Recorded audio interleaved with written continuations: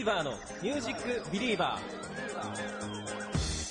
四国の皆さんこんばんは。 WEAVER の MUSIC BELIEVER。お相手は WEAVER のピアノボーカル杉本がお送りしていきます。というわけで、えー、この前先々週と Weaver のねメンバーがそれぞれ来てくれましたので今週は2人とも来てもらっちゃってますというわけで自己紹介お願いしますどうも、 WEAVER のベース、奥野翔太です。どうも、 WEAVER のドラム、河邉徹です。全集合イエーイよろしく初めてやね。はい。初めてそうか初めてやな全集合は。はい緊張をほぐしながらシングルについてや、でもでも俺ら二人はゲストやからな。そうそうそう。あそっか俺らトリートしてもらう側やから。あなんか威圧感があんねんな なんでやつか。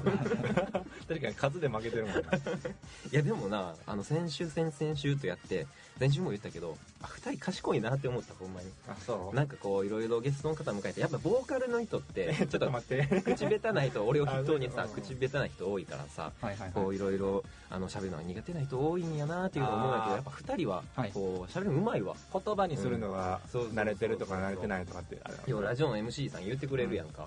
今喋りやすいわみたいな。あれちゃん。う次、ん。うん MC 向いてないってことね。っ取る？そそこは、そこは伏せて。とい。うわけでね、えー今日は3人で喋っていきたいなと思っておりますけれども、最初にね、えっと、いつもゲストの方から質問をいただいてるんで、もし何かあったら。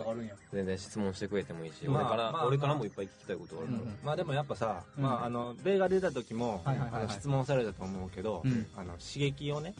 受けた話と。あれはゲストが答えるやん、うん。じゃあ杉本裕二が最近刺激を受けた話お願いします。そうね、うん。最近、何も考えてきてなかできたらプ。ライベートなやつがいいよな。そうやな。音楽がどうとか夜のいいよな。えーとな、ガチで困ってるわ。じゃあなんかもう、なんかもっと雑なやつ。じゃあもっとはそのネックレスの王にはどんな意味があるのとか。これダイヤやわ。あダイヤ？なおうダイヤダイヤの形をして。えて。じゃあ、じゃあおっぱいと足どっちが？ージ性もない。おっぱいと足どっちが好き？え、ちなみに上は？俺そんなお品の尻じゃない質問に答えへん？え？お尻じゃなくて？あ、じゃあ、おっくんは？俺年取るにつれて下に下がっていくみたいな話しなかったっえ、け若い時は顔うん。胸うん。腰お尻足みたいなへで、今はあれ？うん、うん、腰とかあの、なんか、ニヤついて言うからリアルやな。ちょっと刺激的な的な話考えとくわ。はい。はい、というわけで今日は、えー、3人でやっていきたいなと思います。ビーバーのミュージックビリーバー最後までお付き合いよろしくお願いします。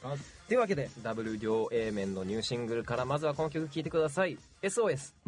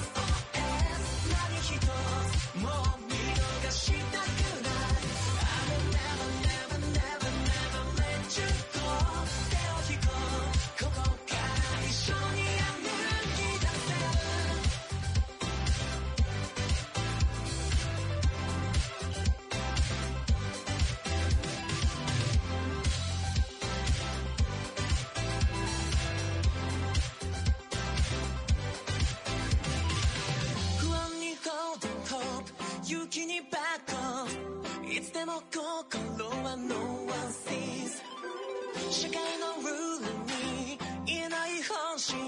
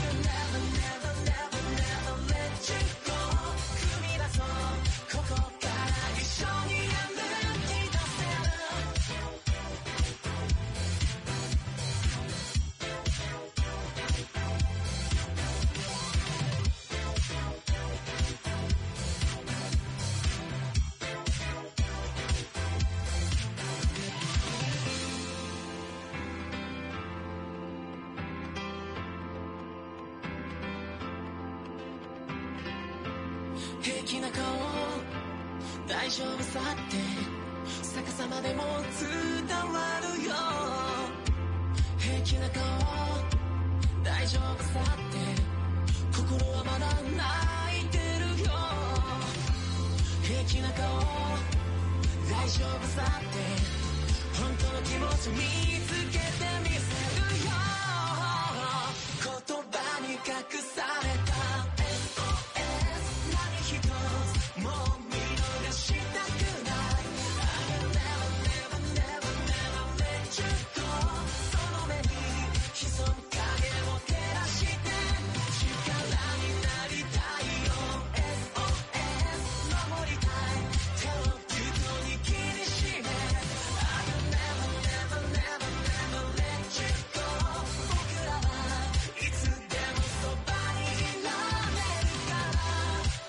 りしたのは Weaver のニューシングルで SOS でした。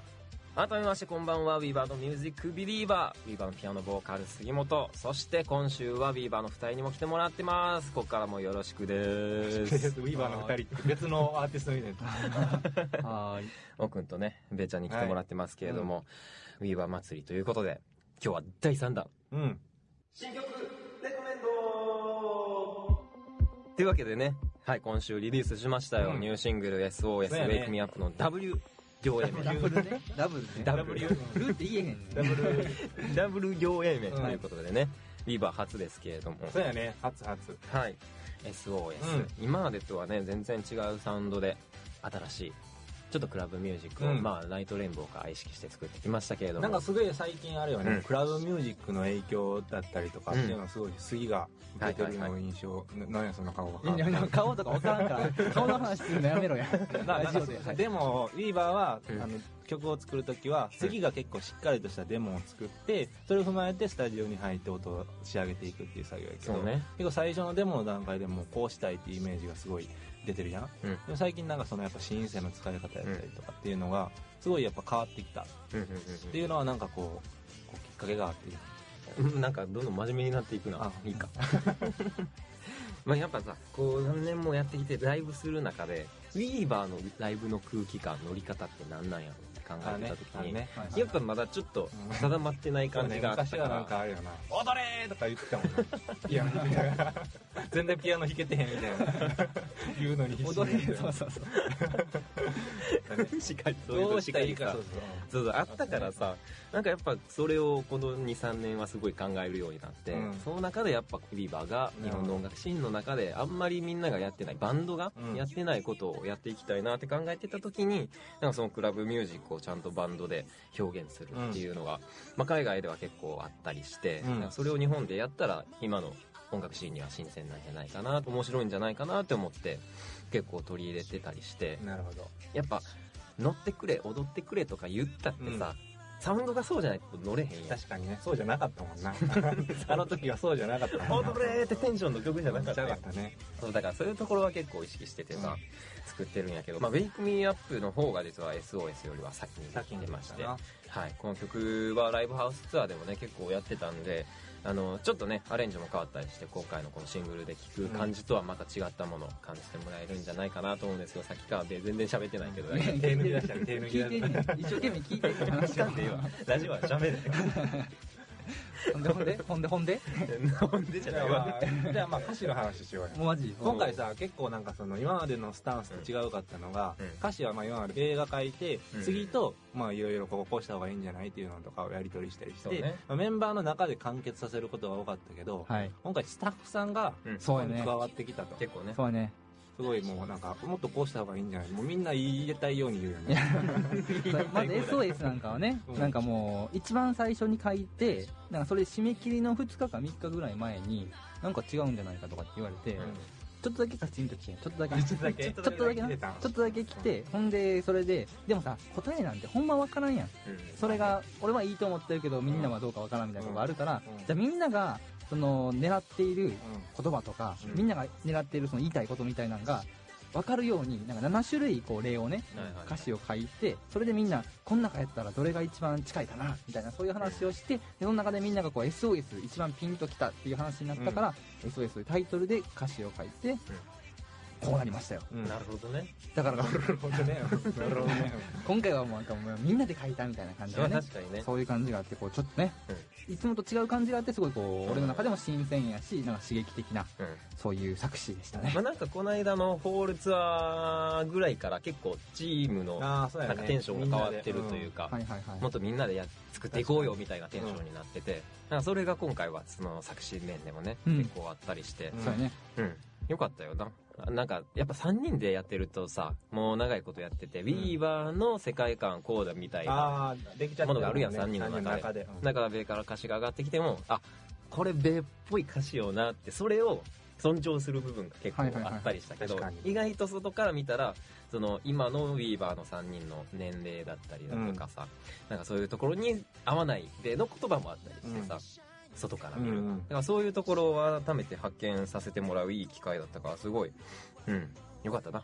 よかったと思います。よかったと思う。思います。あのまあちょっとイラッとするかもしれへんけど としては。ああいうのがなんか今後もねそうね。やっていけたらいいなと思うけどもまあでも最終的にはやっぱ3人やからさ、うん。はいはい。3人がやりたいことかけたいことをね、うん。尊重してやっていくのがね一番いいと思うんですけれども。まあでもどんどんチームでどんどん大きくなれたらいいなと思ってるので、はいここからもやっていきたいなと思いますけれども。ジャケットの話して。いいあいいよいいよいいよジャケット。ジャケット今回さ、うん。あの初回はめっちゃ顔出てるやん。うん出てるよ。初回版な。すごいよな、あんまりそういうのしたことなかった。ね。しかも大きい感じ。そうやねんな。普通の CD のサイズじゃなくて大きいサイズやから、うん。より迫力がねより迫力 CD ショップなんか気に食わんの。いや。どうしたん？見てほしくない あのコンセプトがね、うん。あテントウムシと思ってる人いるからさ。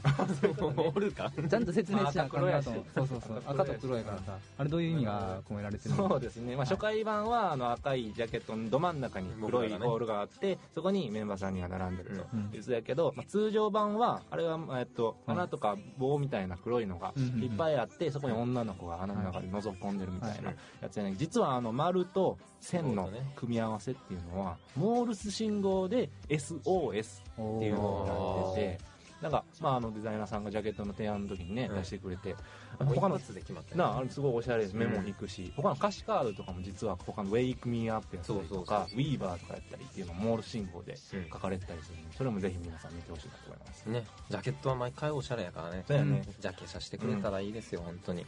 ぜひ聞いてもらえたら嬉しいなと思います。ジャケ買い？チェックしてもらえた？らジャケ買い？ジャケ買い。ねジャケ写してもらってバーウィーバーファンどういう意味？ウィーバー知ってんのにジャケ。ジャケ買いね。ジャケ写してくれてる。ジャケ写って言ったはいお願いします相変わらずということで。というわけでね、ここで、えー、ニューシングルからもう一曲聴いてもらいたいなと思います。聴いてください。Wake Me Up。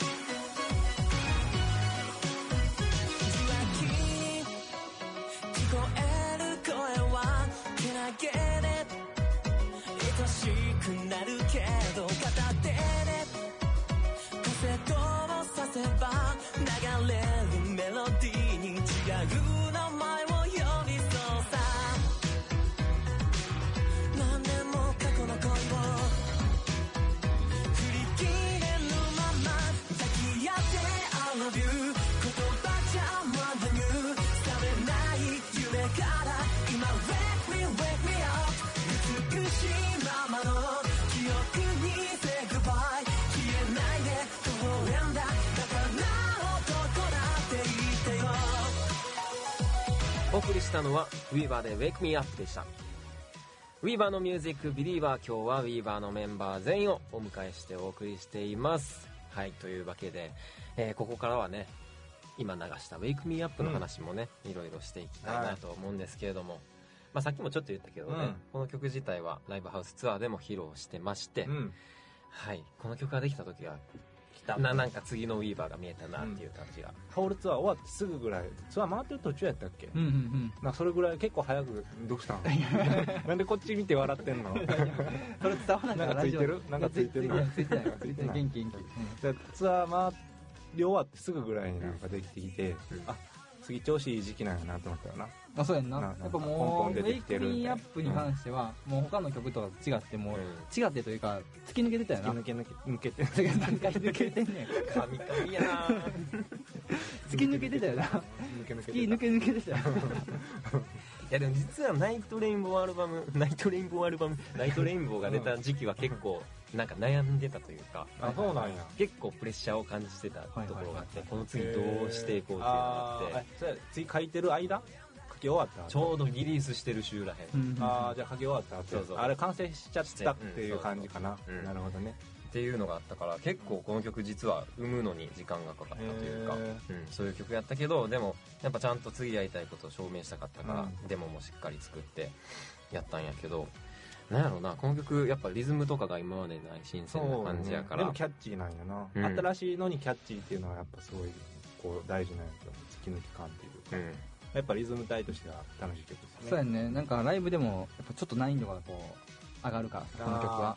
ちょっと集中して演奏しようみたいなねそういう気持ちになる。はい。もうしてない。でもぼーっとして。演奏してなんでやねん。いやでもやっぱさ曲作る時に絶対2人がなんか楽しくやってくれるところっていうのを結構考えながら作おってて。考えてくれてんの。考えてるよ実は。嬉しい。な歌物ってやっぱなんかリズム体が退屈になりがちやったりするやんか。そうね。曲調によってはな。そうでもやっぱ俺らのバンドで3ピースでさ、うん。2人ともすごい上手いしさ、なんかそれをちゃんと見せれるバンドでやりたいなっていうのはすごい考えてるからなんかそれがすごく表現できる曲になったなと思うし、まあ、ベースソロもねうん最初はなかったけれどほんまやなベースソロあるそうな。初めての結構。今それやったことないかった。んや音源ではないんやね。うんすごいライブとかは。初？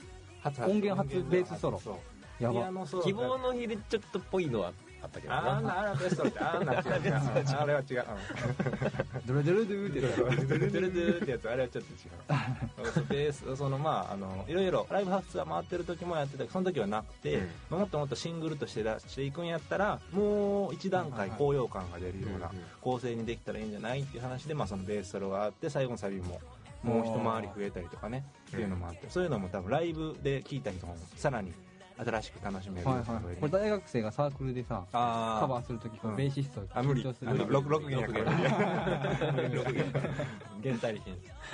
いやでもそういう存在になれたらいいなと思うよね、はいはいはい。フォロワーが増えてくれるような、うんえやっぱカバーしてほしいよな自分のだからの結構ちょくちょく聞くようになってきてあほんま？ウィーバーのカバーをやってますとか。だってギターがいないっていう圧倒的にねそうね。ギター人口が多いからさ。ないやだからさなんかバンドスコアとかでギターがいるバンド用みたいなんで作ったらさなんかいいなと思ってあギターパートもそう入れてるギターおー。俺らがもうディレクションデすげえィレクターしてすげえアイデアいいやんそれ。じゃあ俺ギター弾けへんほんまに思ってる。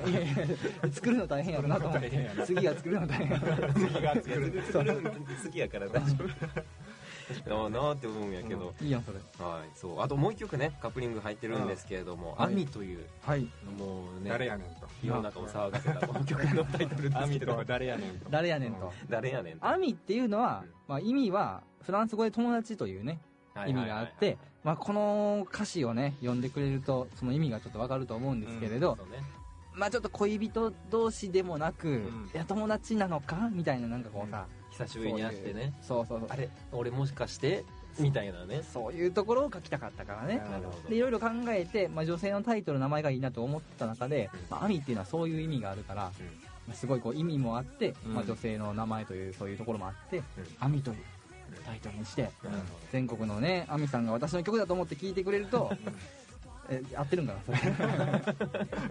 そういう意図ではないそういう意図ではないけどなんか大切にしてもらえるとねね。嬉しいなと思う、はい。はいまあでも歌うん俺やからさ。最初ちょっとこのタイトル嫌がってたやんはいはいはいはもう一個のタイトルがね。俺がアミさんに対する。まあちゃんと説明してると大丈はい夫はい。はい。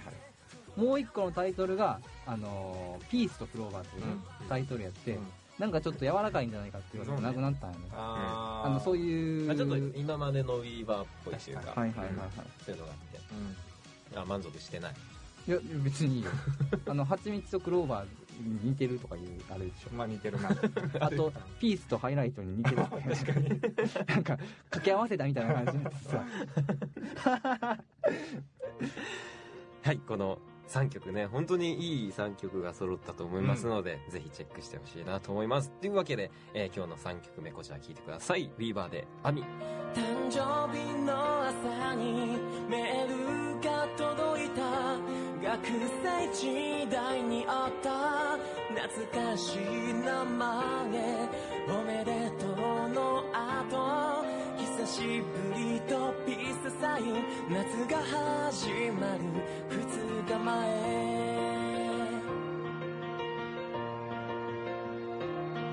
ありがとうの後につけたクローバーメモしたっけ昔と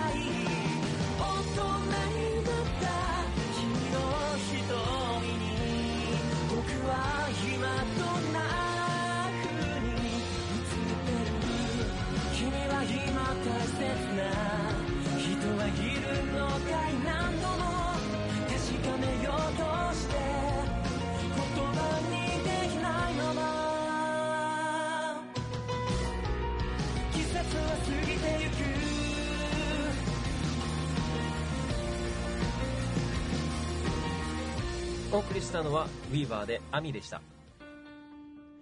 というわけで、ウィーバーのピアノボーカル杉本がお送りしてきたウィーバーのミュージックビリーバー。えー今週は、ウィーバー、おっくん、べーちゃん二人に来てもらって、ウィーバー祭りということで、はいやってきましたけれども、はどうでしたか？そうねまあ相変わらずやなっていう。相変わらず。相変わらず3人になるとさ、なんかなるよな。いつもの感じになっちゃう、はいはいはい。ねなるほどね。で普段はもっとね、うん。やっぱゲストとお迎えるということで、うん。すごいしっかりしたね杉本さんが見れるとそうですよ。そうなんかな。聞いたことないんかい。えでももう、うん。これを機にね、うん。ここを2人が乗っ取るみたいなそういう話もねね。出てるぐらいやから。出てるらしい。出てた巷では。巷で巷では。クラジベラジがクラジベラジがね巷でまあそれはあの投票でね。あそれいいやん。それいいやん。決まると。投票でやめて。ほんまにやめて。オクラとベイクラが怖いから。そうやんそうやん。そうや。えっと冒頭にうん、言ってた。俺らから質問した。うんうん。刺激的な話、うん。最近杉が刺激を受けたプライベートなお話。お前結局あの話も最終的に奥の腰が好きって話で終わった。よ俺の話。今やで。オン君が恥かいては。そうね、刺激的な話。ぜ8月にさ、あの、オン君誕生日やったからさ、うん。みんなからの誕生日プレゼントでヘアビューロンもらって。たやんかビューロンねもらったよ。ヘアビューロン。あれ見て、ちょっといいなと思って、給料入ったから、うん。あれを買ってんけど、自分で。自分で買ったん？マジで？えあれ何やってアイロン？ビューザーがあえっとドライヤーのビューザー。ビューザーの。方ビューザーの方。えどっちを買った？アイロン買ったドライヤーのドライヤーを買ったんや。買ったんやけどあの時奥君がもらったやつが初期版？おワンツーあってワンの方やったからおう奥君には負けたくないなと思って 新しい方買ったんや。刺激を受けてツーを買いました。何に刺激を？俺に刺激俺がもらったプレゼントに刺激を受けた。そう。どうですか？いいのあれ。使い心地もう髪ツヤツヤ。そうそうやってやったな。なんかだいぶ傷んでる感じするけど。というわけで使ってますはい。というわけでこの番組はですね来週も僕が杉ラジがやっていきます。というわけで、えー、全ての宛先はこちらです。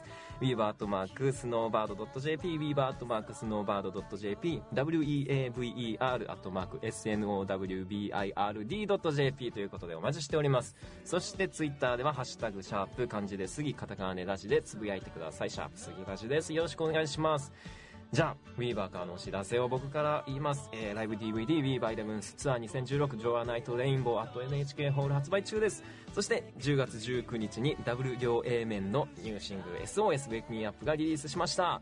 えー SOS はアニメうどんの国の金の毛前のオープニングテーマにもなっております。そしてライブ情報としては対バンがあります。12月14日水曜日、大阪ナンバーハッチ、ゲストはビッグママ、そしてランプインテレン。12月18日日曜日には、恵比寿ダガーデンホール、ゲストはアンドロップ、そして雨のパレードと、えー豪華なラインナップになっておりますので、ぜひ皆さん見に来てください。詳しくはホームページをチェックしてください。というわけで、なんか結局、楽曲のこととか話しすぎてもっと話したいことだったんやけど、何があった話したい刺激刺激終わるから刺激終わるから刺激はいいわもう。普段さなんかこう3人やっぱなんか3人暗いやんか。ちょっと話しかけづらいあおとなしいおとなしいって暗いというか。おとなしいおとなしいちょっと話しかけづらい感じがあるから、なんかそれを今日言おうかなと思ってんけど、また今度ねどういうこと半半年後ぐらいにね。半年後ぐらいに。半年後ぐらいにはい。来た時があったらその時はちょっとその話をして、ああなるほど。はい、やっていきたいなと思いますのでぜひ皆さん楽しみにしておいてください。何をかわからんけどよく僕わからへんけど。うん。はい。ということで Weaver のピアノボーカル杉本がお送りしてきた Weaver の「ミュージックビリーバー来週は通常に戻りましてまた一人で喋っていきますというわけでここまでのお相手は Weaver のピアノボーカル杉本とドラムの川辺とベースの奥野でした。それではまた来週。バイバイ。バイバイ